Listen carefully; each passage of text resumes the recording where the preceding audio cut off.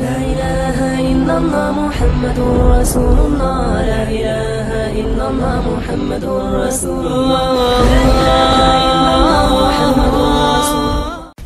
السلام علیکم ورحمۃ اللہ وبرکاتہ حضرت علی کرم اللہ وجہ کے اقوال کے ضمن میں جو چند ایک اقوال آپ کے سامنے آج پیش کرنا چاہتا ہوں، اس میں سے پہلا قول یہ ہے کہ جو شخص نیکی کا طلبگار ہو وہ آخر ایک دن اسے پا لیتا ہے۔ اور جو برائی پر غالب آ جائے، وہ ضرور کامیاب ہو جاتا ہے۔ جو شخص اللہ کو پہچانتا ہے، اسے لازم ہے کہ اس کا دل اس کی امید اور خوف سے خالی نہ رہے۔ اور جو اپنے نفس کی حقیقت پہچانتا ہے، اسے لازم ہے کہ وہ قناعت اور پاک دامنی کو لازم پکڑے رہے۔ فضول امیدوں سے بچو۔ کہ یہ یقینی موت ہیں۔ اور بزدلی سے بچو کہ یہ وار اور نقصان کا موجب ہے۔ جب تم نیک کام دیکھ کر کسی کی طرف جلدی کرو اور برا کام دیکھ کر اس سے دور ہو جاؤ، اطاعت الہی پر کار بند اور اپنے اخلاق کو اعلیٰ چیزوں کی طرف راغب سمجھو تو پھر سمجھو کہ تم محسن ہو اور کامیاب ہو۔ جب تو حرام کاموں سے بچا رہے، شبہات سے پرہیز رکھے، فرائض کو ادا کرے اور نوافل کو بجا لائے، تو بے شک تو نے دین کی تمام فضیلتیں حاصل کر لی فضول امیدوں پر بھروسہ کرنے سے بچا رہ کہ یہ بے وقوفوں کا سرمایہ ہے۔ بےہودہ امیدوں اور آرزوؤں کا نتیجہ غم اور افسوس اور ان کا پھل ہلاکت و بربادی ہے۔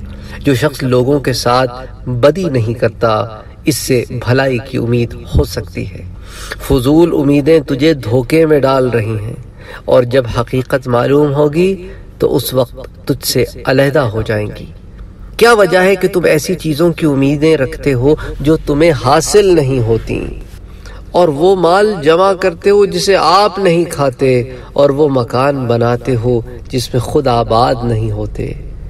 اپنی امیدوں کو چھوٹا کرو، موت کے اچانک آ جانے سے ڈرو اور نیک کام کرنے میں جلدی کرو۔ باتیں کم کیا کر، امیدیں چھوٹی کر دے۔ امیدوں کو کم کر دے تاکہ تیرے اعمال خالص ہو جائیں۔ اپنی امیدوں کو چھوٹا کر کیونکہ تیری موت نہایت قریب ہے۔ امیدوں کو چھوٹا کر کیونکہ عمر نہایت چھوٹی ہے اور نیکی کے کام کر کیونکہ تھوڑی بھی بہت ہے۔ امید سراب کی مانند ہے کہ دور سے دیکھنے والے کو دھوکے میں ڈال دیتی ہے۔ اور جو اس کی امید رکھ کر پاس آئے، وہ اپنی امید کے خلاف پاتا ہے۔ جو شخص سراب سے سیراب ہونے کی امید رکھتا ہے، وہ اپنی امید میں ناکام ہوتا ہے اور پیاس سے ہلاک ہو جاتا ہے۔ آپ میں سے وہ لوگ جو سراب کو نہیں جانتے، انگریزی میں، انگلش میں اسے مراج کہتے ہیں۔ یعنی دور سے پانی نظر آتا ہے، کیونکہ جب سورج کی شعائیں ریت کے ریزوں پہ پڑھ کے ریفلیکٹ ہوتی ہیں، تو پانی کا سما سا باندھتی ہیں۔ تو دور سے پانی معلوم ہوتا ہے، اسے سراب کہتے ہیں۔ قریب آؤ تو کچھ نہیں ہوتا۔ بس اسی کی مثال مولا علی نے دی ہے۔ اللہ اکبر اللہ اکبر۔ انشاءاللہ اللہ تعالی ان باتوں کو، ان اقوال کو پھر اگلے درس میں جاری رکھیں گے۔ وما علینا الا البلاغ۔